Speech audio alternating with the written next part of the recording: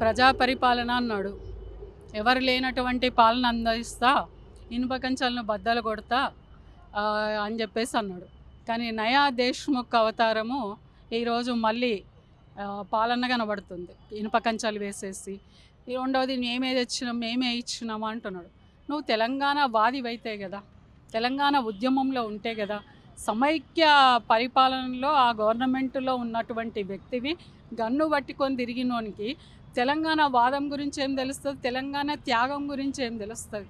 ఇంకోటి తెలంగాణలో కేసీఆర్ గారి ఆనవాళ్ళు లేకుండా చేస్తా అంటే నీకు నువ్వు ఆనవాళ్ళు లేకుండా చేసుకుంటావు. చరిత్ర నిన్ను క్షమించవు రెండోది ఇప్పుడు దీని చుట్టూ ఎందుకోసం నువ్వు కంచె పెట్టినావు?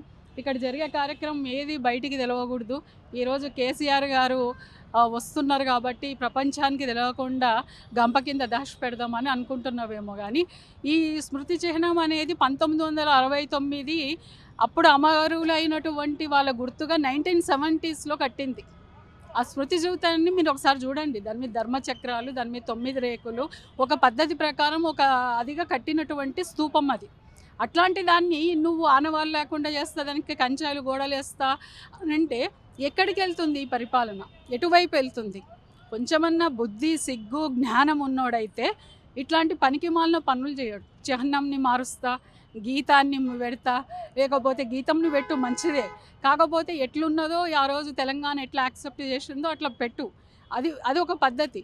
కానీ గోల్కొండ ఆనవాళ్ళు తీస్తా చార్మినార్ ఆనవాళ్ళు తీస్తా కాకతీయుల ఆనవాళ్ళు తీస్తా అంటే రెడ్డి రాజులను తరిమి కొట్టింది పద్మనాయకులు అని చెప్పేసి ఏదో మనసులో పెట్టుకొని నువ్వు అంటే ఇది కులాల పంచాయతా? తెలంగాణ సంస్కృతి తెలంగాణ సంప్రదాయం తెలంగాణకు ఆ వైభవాన్ని తీసుకొచ్చినటువంటి అభివృద్ధి చిహ్నాలు ఈరోజు. పరంపర ఈరోజు కొనసాగుతుంది.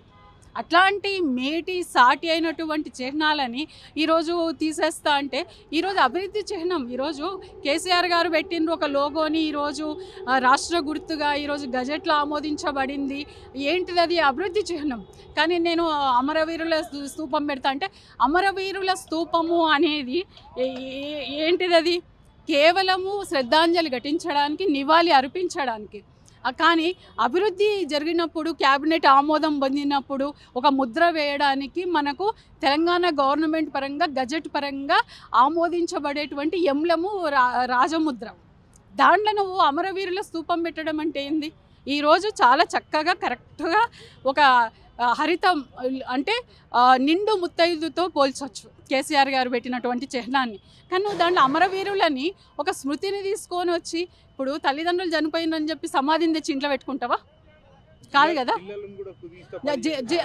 ఇప్పుడు ఎందుకోసము? ఒక్క దగ్గరనే డివిజన్ ఆఫ్ లేబర్ అంటాం డివిజన్ ఆఫ్ వర్క్ అంటాం.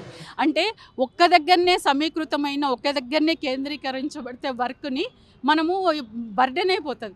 అట్లాగే ఎక్కడిదక్కడ పోలీస్ స్టేషన్లు ఎక్కడికక్కడ కలెక్టరేట్లు ఎక్కడిదక్కడ ఆఫీసర్లు ఎక్కడిదక్కడ గవర్నమెంట్ ఆఫీసులు ఉంటే పరిపాలన సౌలభ్యం అనేది చాలా ఈజీగా అవుతుంది అని చెప్పేసి ముప్పై మూడు జిల్లాలు చాలా చక్కగా ఆలోచించి విభజించి మళ్ళీ వాటన్నిటి కూడా సమీకృత భవనాలు కట్టించేసాడు కేసీఆర్ గారు. అభివృద్ధి మొత్తం వచ్చేసింది. ఇంకా నువ్వు వాడు చేయాల్సింది కూడా ఏం లేదు.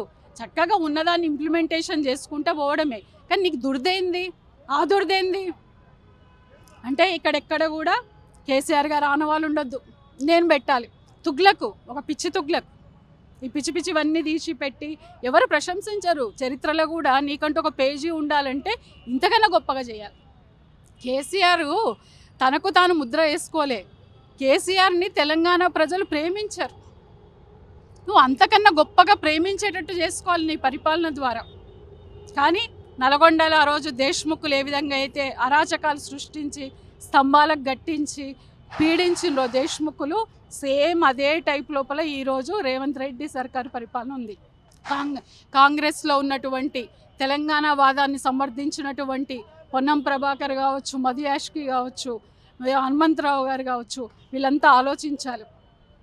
ఇతని వేగానికి తోక కట్ చేస్తే తప్ప ఈరోజు తెలంగాణలో ఉన్న ప్రజలు సుఖంగా ఉండరు.